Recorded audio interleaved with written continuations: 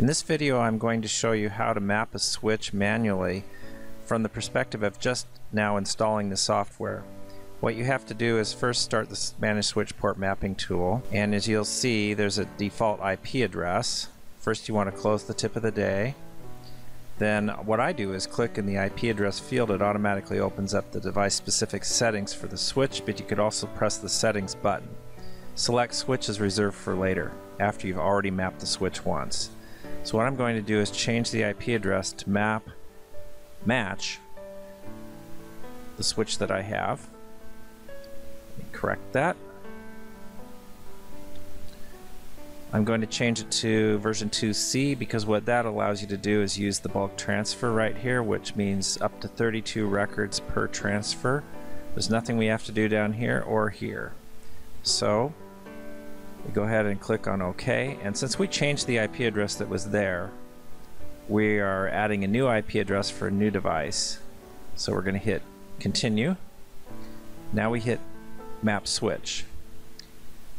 Now this message means we have ping sweep turned on over here but we didn't define a range. So for the moment we can ignore it.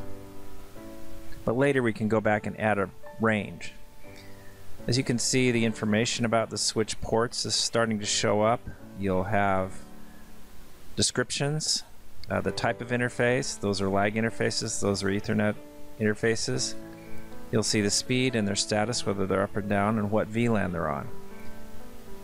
You'll see MAC addresses, IP addresses to match those MAC addresses, and if there's a host name assigned to that IP address, it shows up here because we've selected this switch right here. Actually, checkbox, sorry. And then um, interface manufacturer based on the MAC address is shown up. You'll also see LLDP or CDP information. In this case, we see LLDP of two attached devices. And in this case, we know what port it is and what IP address it is. Um, but over here, we don't actually get that information from the device. Actually, the switch logs this information and we're just reporting what the switch sees.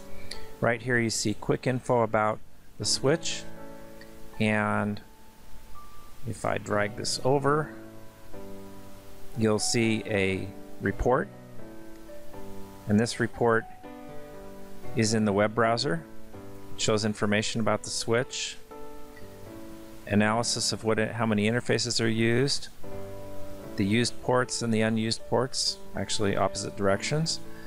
And then information about the ARP information that we pulled from the switch, the local ARP table of this computer, and through ping sweep, but ping sweep was actually not active. So that's a summary of how you map a switch. One quick thing I want to add is the ping sweep range editor. In this case I have this very small subnet so I'm going to add the IP range right here and hit close. So the next time I map it, there won't be a warning about the ping sweep range not being available. So that is a summary of how to map a switch manually with the Managed Switch Port Mapping tool. You can go back later after you've mapped a switch and you change to another switch. You can go back and quickly pull it out this way. There may be 10 switches listed here, but you can just Click on this and hit OK and it will restore it back into this left panel.